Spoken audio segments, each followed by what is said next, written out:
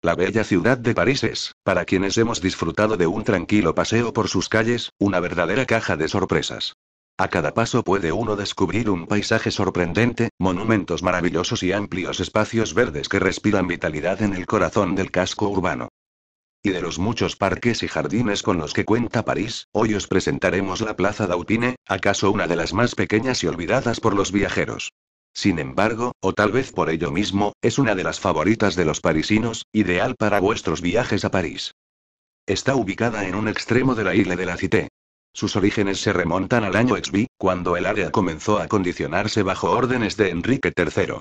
Recién en 1607, su sucesor Enrique IV concedió este espacio al Parlamento para que se edificara allí una plaza triangular. El nombre de la plaza fue elegido en honor de quien sería su patrono, el futuro rey Luis XIII, a quien los franceses apodaron Delfín.